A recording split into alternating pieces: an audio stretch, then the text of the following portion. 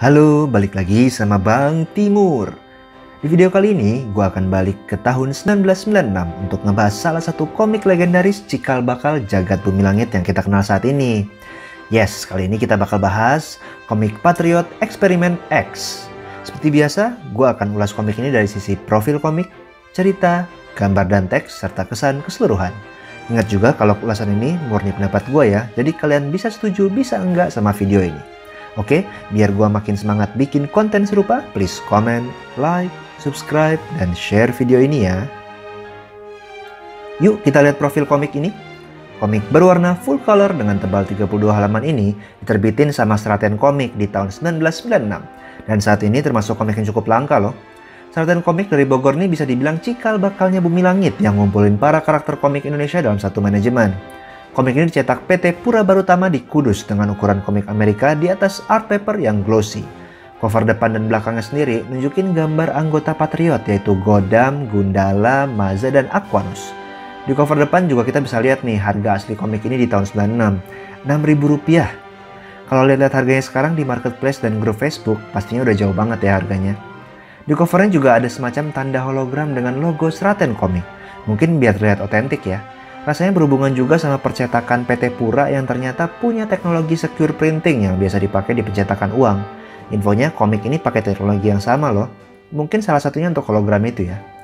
Di berbagai bagian komik ini kita bisa temuin juga slot-slot halaman yang diperuntukkan untuk iklan di komik ini. Nomor pertama ini gambarnya bahkan masih berupa gambar full body toko-toko jagoan Indonesia. Jadi malah semacam kayak halaman splash gitu. Keren deh jadinya. Kalau dilihat-lihat di halaman akhir komik ini banyak banget tim yang terlibat sebagai pembuat Patriot Eksperimen X.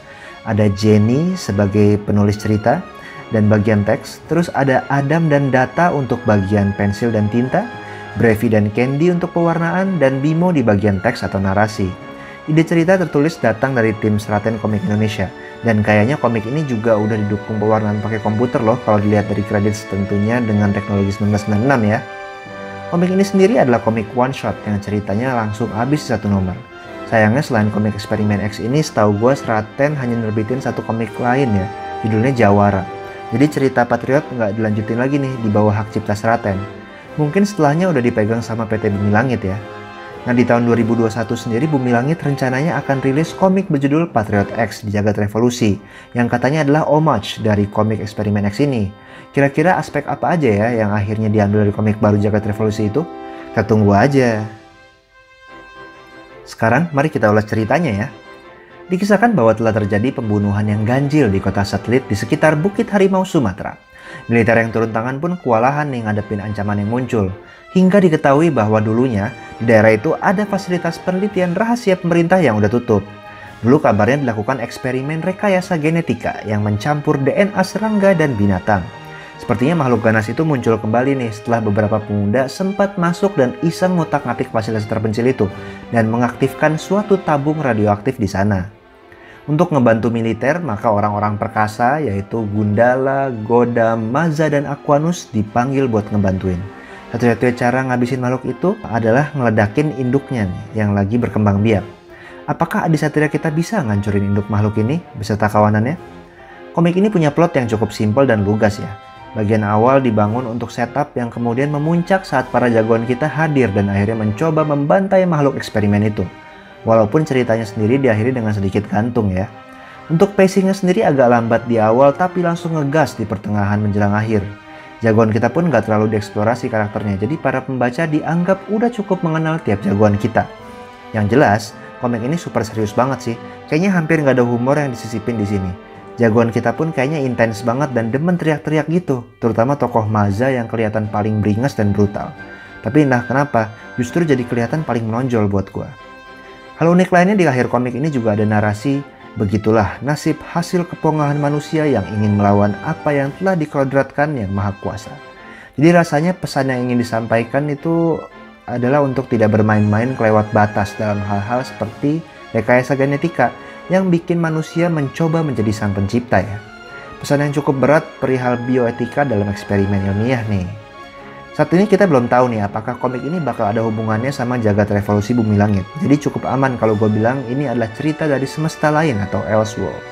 Dari sisi world building pun nggak terlalu banyak dieksplor nih cerita ini karena kisahnya langsung lompat ke aksi para jagoan memberantas makhluk eksperimen yang mengancam. Buat kalian yang pengen lihat aksi berantem para jagoan ini nggak bakal kecewa sih, karena ceritanya tanpa babi bu langsung fokus ke momen-momen aksi itu. Nah, sekarang kita ulas dari sisi gambar dan teksnya ya. Gaya gambar eksperimen X ini rasanya terinspirasi komik barat yang di tahun 90-an emang lagi naik daun. Para jagoan kita digambarin dengan berbagai pose anatomi yang dinamis dengan otot-otot yang keker banget. Kayaknya ini sosok Adi Satria Indonesia paling keker sih sejauh ini. Hal ini didukung sama pewarnaan yang nyala banget ditambah efek shading di tiap karakternya. Panelnya sebenarnya cukup sederhana, tapi momen yang dipilih intens banget deh. Kita sering dibawa ngelihat para jagoan kita secara close up yang lagi teriak-teriak. Jadi tiap adegan terkesan gagah dan perkasa banget. Garis aksi juga bisa kita temui di beberapa panel di komik ini. Sayangnya banyak latar kosong nih yang diisi dengan pewarnaan atau gradasi, jadi agak mengurangi atmosfer momen yang digambarkan. Seperti yang udah gue bilang beberapa kali, desain karakter di komik ini cukup maco ya. Malahan kayaknya hampir nggak ada tokoh wanita nih di sini. Walaupun masih memakai desain klasik para jagoan, tapi ibarat kita lihat anime JoJo Stardust Crusader atau Dragon Ball yang super berotot gitu. Nah, untuk sosok antagonis, makhluk eksperimen sendiri ini jujur kurang terlihat jelas dan kurang berkesan ya. Bentukannya kayak monster kumbang yang kita biasa temuin mungkin di serial tokusatsu. Dan ancamannya pun di akhir kurang begitu terasa bagi para jagoan kita. Malahan gue ngerasa kalau makhluk ini sebenarnya korban juga sih, jadi gue simpatik nih. Karena mereka nggak pernah minta dilahirin, muncul dari eksperimen manusia yang ditelantarkan dan hidup kembali akibat kesombongan dan kelalaian manusia. Jadi mereka sebenarnya cuma mau bertahan hidup aja. Ya walaupun layaknya hewan buas ya, mereka jadinya memangsa apa aja termasuk manusia. Untuk teks di komik ini rasanya banyak dilakukan secara digital ya. Untuk balon kata dan kotak narasi terlihat kalau teksnya itu pakai font ketikan. Begitu juga dengan efek suara yang muncul di momen aksi yang seperti ada penambahan word art di atas gambarnya. Mungkin ini jadi satu hal yang bisa dikembangkan lebih baik nih. Walaupun gue kurang tahu nih teknologi desain di tahun 1996, tapi rasanya bisa dipilih font atau teks yang lebih nyatu dengan gambarnya. Dialog di komik ini juga serius banget, walaupun dicampur dengan bahasa yang lebih informal ya. Diawali dengan eksposisi kejadian oleh para militer sampai respons para jagoan yang menghadapi makhluk eksperimen ini. Bahkan, para adisatria pun terlihat mengumpat walaupun dengan kata yang tidak terlalu kasar ya. Contohnya Gundala sempat berteriak gandrik atau maza dengan ucapan setan alas roban. Kayaknya komik ini setidaknya diperuntukkan untuk remaja ya, melihat dari bahasa dan momen aksinya. Ada juga adegan pemuda mabok-mabokan gitu minum alkohol, so pastinya bukan untuk konsumsi anak-anak ya komik ini. Jadi, gimana kesan gue ke komik ini? Secara umum, komik ini membawa kita bernostalgia kembali dengan aksi superhero klasik Indonesia yang bersetting di tahun 90-an, di mana komik barat sendiri ada di fase yang kisahnya garang-garang banget dan maco, ngelawan hasil rekayasa genetika. Dengan momen aksi yang keren disertai pewarnaan yang nyala banget, gua rasa judul ini memberi pengalaman membaca yang menyenangkan, sekaligus menguatkan komik sebagai penanda zaman dari tahun-tahun di mana ia diterbitkan. Oke, mungkin itu dulu dari gua. Jangan lupa untuk tetap baca dan dukung terus komik Indonesia yang pastinya nggak kalah seru sama komik internasional ya. Sampai ketemu di video berikutnya. Cus!